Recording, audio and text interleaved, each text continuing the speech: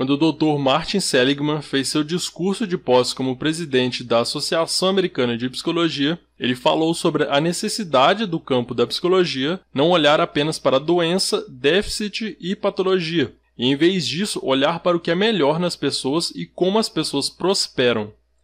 Foi nesse momento que o campo da psicologia positiva nasceu, com seu foco sobre o que está certo com as pessoas em vez de o que está errado com elas. O campo da psicologia positiva gerou uma infinidade de pesquisa sobre como as pessoas realizam o seu potencial, como as pessoas podem descobrir seus pontos fortes e como aplicá-los, como as pessoas podem experimentar emoções mais positivas e como as pessoas podem ser felizes.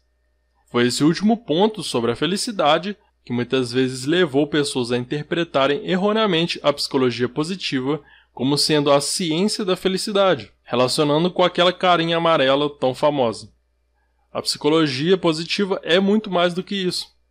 Outros equívocos sobre a psicologia positiva é que ela é simplesmente pensamento positivo, e que a repetição de um padrão de pensamento positivo ou palavras positivas vão levar a um resultado desejado, ou que a psicologia positiva é meramente o princípio de Poliana, onde há um foco incansável na visão otimista, Além disso, muitas vezes as pessoas nunca ouviram falar da psicologia positiva.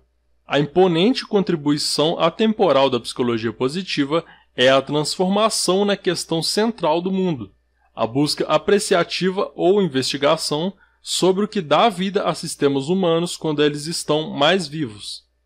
Uma segunda onda da psicologia positiva que está emergindo reconhece que, embora seja mais benéfico para o nosso bem-estar físico e mental focar no positivo, há a apreciação realista que a vida não é um mar de rosas ou não vai ser sempre.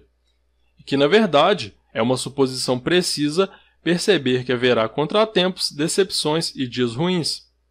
A segunda onda da psicologia positiva pesquisa formas de mitigar ou superar esses contratempos, decepções e dias ruins, de modo com que as pessoas sejam capazes de levar uma vida próspera pesquisador de psicologia positiva e professor, Dr. Tim Lomas, descreve a psicologia positiva como a arte e a ciência para melhorar o seu bem-estar.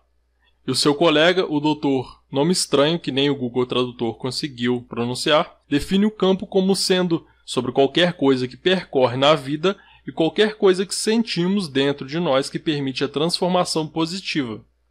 Dr. Paul Wong reconheceu a necessidade de abordar equívocos da psicologia positiva e fala do campo como sendo o estudo científico de como trazer o melhor nas pessoas e organizações, apesar do lado escuro da vida.